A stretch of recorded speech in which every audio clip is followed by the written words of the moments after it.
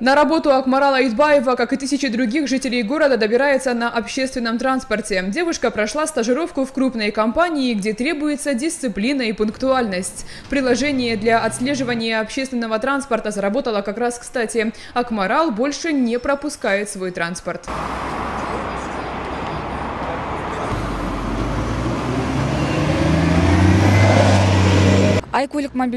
С приложением iColleг стало очень удобно. Я увидела в интернете, что у нас появилось приложение и сразу скачала. Там видно, где сейчас едет автобус. Как только он на соседней улице, я выхожу из дома. Не жду его и не пропускаю. А раньше бывало, что только выйдешь на остановку и автобус уезжает. Или ждешь его по 10-15 минут.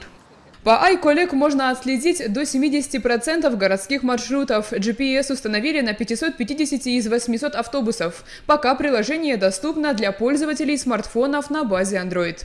Установить приложение несложно. Заходим в Play Market, вводим в строке поиска iColleg и загружаем приложение. Регистрироваться при этом не нужно, все маршруты отображаются на карте.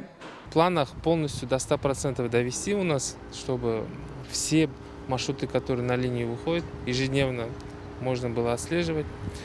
А, На сегодняшний день в Play Market а, уже появилось приложение. К сожалению, там а, есть своя политика у Apple, и в Apple Store у нас на модерации сейчас находится. Я не могу точно сказать, но где-то приблизительно неделя-две а, у нас появится уже в Apple Store.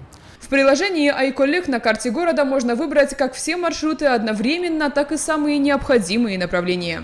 Как вы считаете, э, вообще в целом для удобства граждан да, города Шымкент, а, создание приложения, по которому можно отслеживать график, это было бы удобно? Конечно. Конечно. Потому что мы постоянно слышим, Мгм. автобусы переходят с задержками, постоянные там заторы.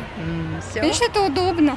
Скажите, пожалуйста, вам было бы удобно, если бы создали приложение, где вы могли бы отслеживать график передвижения в реальном времени? Да, Да. очень. Очень удобно. Разработчики планируют добавить остановки и функции расчета времени до прибытия к остановке, построение маршрута и голосовое управление. Анастасия Новикова, Ирлан Бексеидов, Абзал Турабеков, информационная служба телекомпании «Утрар».